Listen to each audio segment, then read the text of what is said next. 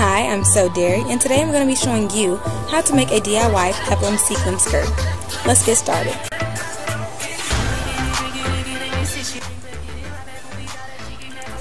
First, we're going to start off by cutting our fabric.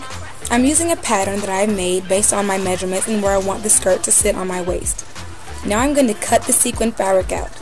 I'm cutting this fabric out on my kitchen floor because sequins get messy. The sequins popped everywhere and it's just easier to cut it on the floor because you can easily sweep it up once you're done.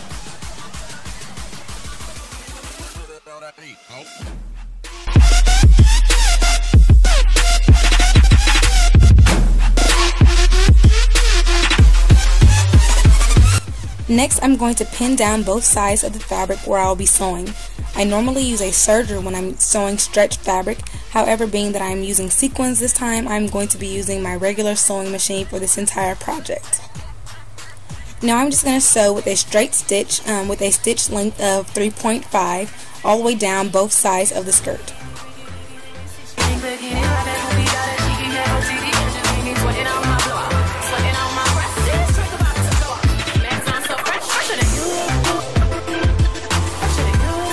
Next, I'm going to cut out the peplum portion of the skirt. Using the lower portion of the skirt, where I cut out the top, I'm going to fold the fabric in half once, and then fold it again. Once I do that, I'm going to measure to see how long the fabric is, and then I'm going to use that length to measure tick marks all the way around to make a quarter of a circle. Then I'm going to cut this portion out.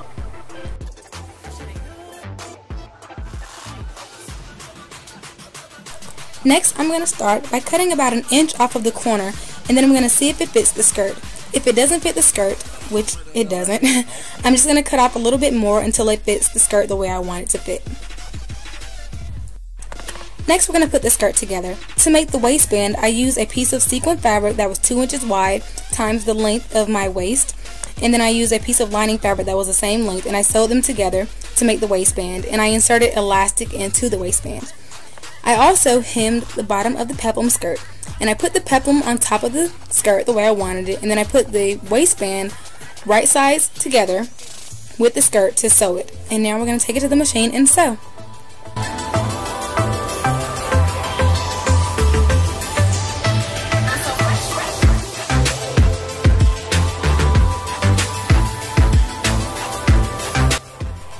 When sewing the waistband onto the skirt, I did use a zigzag stitch because I'm not using my serger and using a zigzag stitch will allow the stitches not to pop when I'm pulling the skirt over my hips. And basically that's it.